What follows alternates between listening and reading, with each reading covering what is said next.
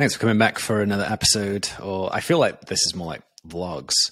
I actually, just before this, I was like, oh, it's Tuesday. I need to record another video. I was watching um, some of my old vlogs. I did weekly vlogs, which were much, much easier to edit. And I would just snippet stuff. Um, I think I did it all on an iPad as well, trying to limit the uh, requirement for fully fledged editing tools and stuff. And I was actually quite pleased the fact that I had vlogged it. It was back when um, Kim and I first got married and we were starting our journey together and also independently as me doing uh, business stuff and she was doing some music things on the side of her law career at the time. So it's really encouraging to watch back uh, some of those weekly vlogs. They're quite funny as well.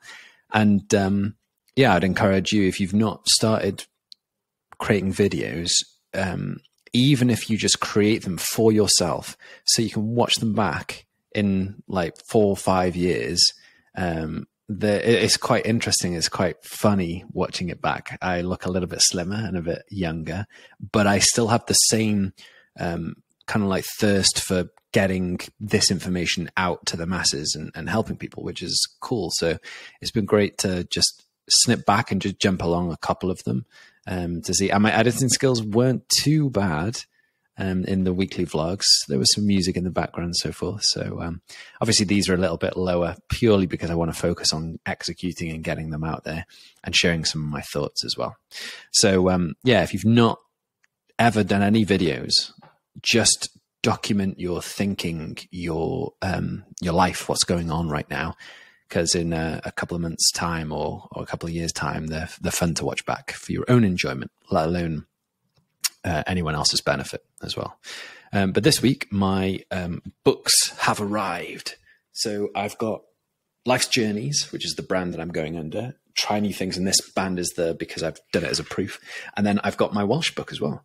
So Triach, uh, Triach, Teithiau Bywyd is basically life's journeys in Welsh, and Triach Bethau Newydd is try new things in Welsh. And um, yeah, I'm super pleased with them. The only one um, kind of mess up is I've used a QR code on the back, and the company that I used to do the QR codes, they now have like, hey, you've ended your seven day subscription, so they've disabled the QR code. So I've just uploaded new um, uh, new QR codes that actually go to the correct places, which ultimately go to the um, Amazon page, so you can buy them all. Uh, but what you can see is, I'll flick through it so you can see what's inside it. So it's just very simple drawings and writing, and then in the back, what I've done, if I show you on the on the um, Welsh one, sorry, English one, I've basically like now it's your turn. So at the back, because I needed to, you might remember me saying, sorry, I've got an itchy nose. You might remember me saying I needed to extend it um, to 24 pages. So at the back, what I've done is want to try new things? Well, now it's your turn. And then basically in this right hand side, you draw what you want or you write what you want. And then there's a tick list of like, I've tried it, I've enjoyed it. And I thought that's a great way to get somebody to repeat, um, use your, your book or come back to your book. Um, and it's a nice way to expend, extend the book. So I didn't have to write any or draw any extra pages. I could just um, add that in. So they're on Amazon now, which is great and I'm super pleased that this is the the third pillar, the intellectual property pillar, as the the first point of um, my first stake in the ground for that aspect of it, which is really really good. So I'm super pleased with it, and I keep on going around the house saying, "Hey, Kimmer, I'm an author. I'm an author." To elongate the positivity, we're very good in life, um, kind of like going over negative thoughts or negative experiences um, or um, sad experiences uh, or sad things, but it's much, much harder to repeat and, and elongate a good experience or a positive thing. Um, so when they do happen, try and extend it so you don't just talk about it that hour or that day. See if you can kind of like bring it up again the next day. And it might seem a bit weird, um, but it kind of just uh, like milks out the positive energy of a positive thing because it's taken me quite some time. It's not easy. Um, obviously, it'll look simple, um, but it's not easy to come up with it and put it together. So it has been a bit of work to, to do that.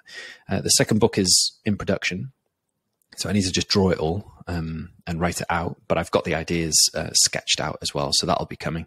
Uh, and I'm very mindful, kind of starting the new year, that I've had this um, kind of like image. I used to do cross country when I was a kid. And I remember we were walking down, uh, running down this um, like thorn bushes, as it were, left and right side, and we're on this like muddy path, and we're back to back. So there's no room to go around left or right of anybody. We're back to back, and because we're all bunching up, um, not because there were branches, but we're just bunching up because of the mud everybody then the slower you go more people get stuck because there isn't this kind of like velocity or like um, level of speed that everybody's working at. So the slower you go the more likely you get stuck. I think people were losing their shoes in this mud and all sorts of stuff. So then had to pull it out and run uh, barefoot for a bit before they were able to get their shoes back on. Um, but that like image is kind of stuck in my brain um, and it's kind of enhanced a little bit with the idea of branches. So branches kind of get in your way and slow you down. So if it's not other people slowing me down, and I'm not necessarily saying that other people are slowing me down, um, it's like branches get in the way, which are kind of like mindset things, um, get in the way to slow you down. And then once you've hit a particular velocity, the mud starts to kind of take effect as well. Um, so it's whether or not you can keep a certain velocity to push through these branches um, so you don't get stuck in the mud because getting stuck in the mud slows you down even more, which pulls out the velocity and pulls out this consistency that you're getting as well. And a really simple, like real life example of that is a, a to do list. Now, I've bought a whiteboard so I can write a to do list so I can be more visual rather than everything being digital. Um, so I can see it uh, properly. And I've had like a particular to do around the insider product that we're working on that I want to um, basically achieve as, as my goal. And what ends up happening is extra stuff through day to day, extra stuff gets added to your list. So obviously, as um, I'm running the show, running the business, I get involved in all the finances and stuff. So today is a great example where I spotted a discrepancy with the amount of PAYE, pay as you earn, like national insurance stuff that I was paying to the government. And then I was like, actually, I need to backtrack this and find out where it is because I need to update the standard, um, the, the, um, the standing order that I've got set up because I don't want to be above or below. I want it to be exact um, for cash flow purposes. And then it stumbles into a big conversation of gaining access to that. And, and that like accidental thing becomes a to-do list of actually there is a discrepancy i need to fix the discrepancy. So that becomes a to-do list item. Then in going through everything i realized that um, i rang hmrc i'd actually been overpaying um, so much so that there's a two thousand pound um, like overpayment on the account. And i was like well that's great. I want that back. So getting that back. So cool. I've now technically kind of made two grand um, which will come back in seven days. But the the benefit or the good thing of that is shadowed by the fact that that was never on my to do list. It wasn't on my to do list. I spotted it. I then went down the rabbit hole because I needed to fix it. Um, otherwise, y- you won't fix it, and and you know it goes to the bottom of the list. Um, so the urgency of it was high up the list. So it becomes an item. You have a success with that item, but it was never on the to do list. So you don't feel like you've done anything positive for the day, even though it's extremely positive. So I find that that's a classic like branch that gets in the way that slows you down. And I've started to, when I'm really conscious about it, there's lots of things um, that can distract, especially when it's a bit firefighty. Um, taking you away or adding extra things on your to-do list, which shoves that one thing that you want to get done this week further down the list.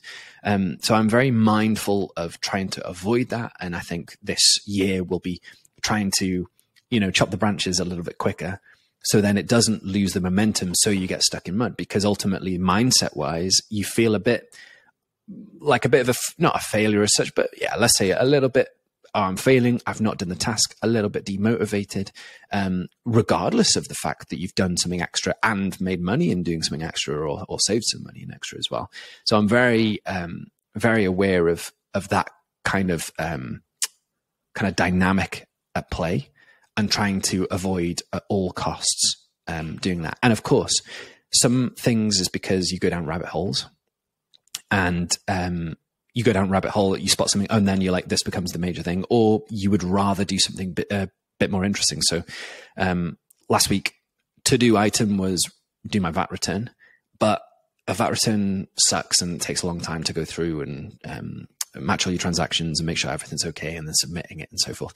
So I basically kept on pushing that down the list and would um, put new things on my to do list that were a bit more interesting and so forth. So I'm very mindful that that in itself um, can bring down the sense of efficiency because ultimately what you want is to challenge yourself or question yourself like has today been efficient or not? And technically today has been efficient um, because i have done good things.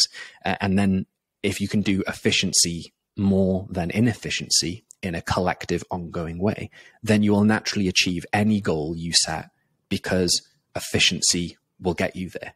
Um, so i found that that kind of mindset stuff aware that to-do list keeps on getting longer and trying to counteract or counter counteract that stuff um, with prioritizing the the to do list at all costs, um, even though there are sometimes fires that feel like they are things that you need to put out urgently.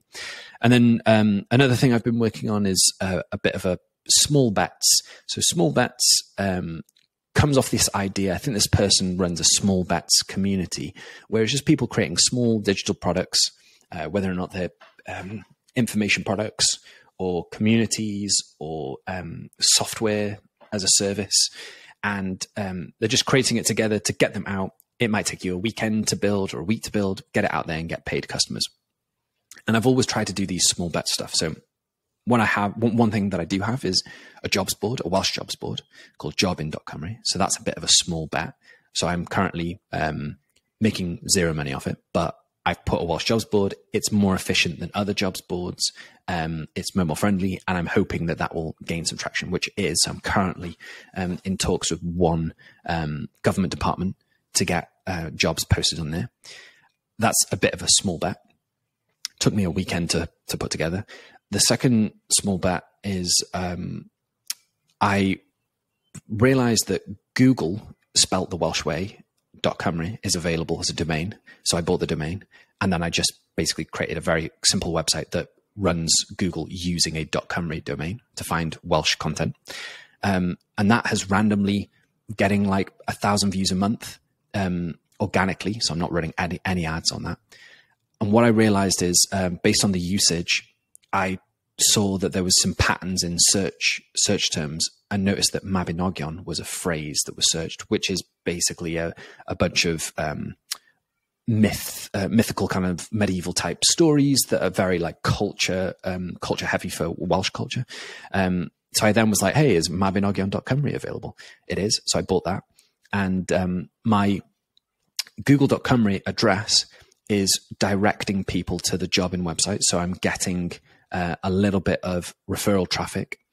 And then I've created this mabinogion.cymru using um, chat GTP to summarize the stories, then Google Translate to translate, translate them into Welsh, then using Midjourney to create an image that relates to the story, and then just put a, a very simple microsite, as they would typically call it.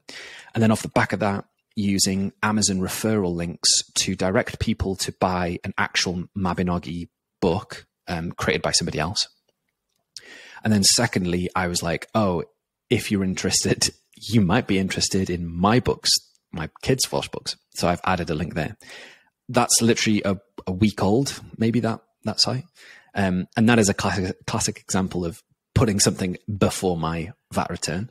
Um, but it's a small bet no traffic, no paid media yet, but I'm hoping over time because people are naturally searching for that, um, it will turn up in Google's um, algorithm because I have submitted it like yesterday or the day before, uh, and that be basically a, a, full circle of something that assists in the Welsh culture remit that, as you will hear as I go on, is a big aspect of like me. Um, and also directs people to my book IP. So I'm trying to as I mentioned last time, create this ecosystem where things are linking together. They might not be paying off now, but a domain, £10 a month, that's okay. The service side kind of covers that, and it's a bit of a small bet.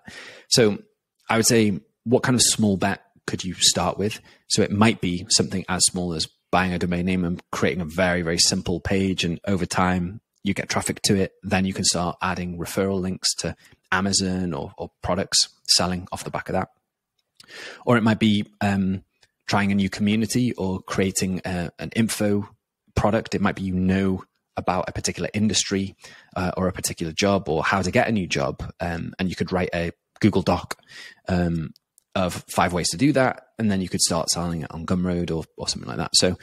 I've started to do these small bets in a way to uh, remove the pressure of one thing clicking and being successful. Uh, there's a really famous um, indie hacker. Indie hacker is a phrase that um, they or, or, kind of like um, solo uh, solo entrepreneur, solopreneur, um, one man band um, running these digital or websites uh, and gaining income from that. And he basically created 70 products or 70 um, different ideas. And four of those were actually making money for him. Um, and then I realized, oh, what? Now, obviously, the conversion rate is quite small, but what's my 70? If I have 70 ideas and the conversion rate is 5% or whatever, what, what's my version of that?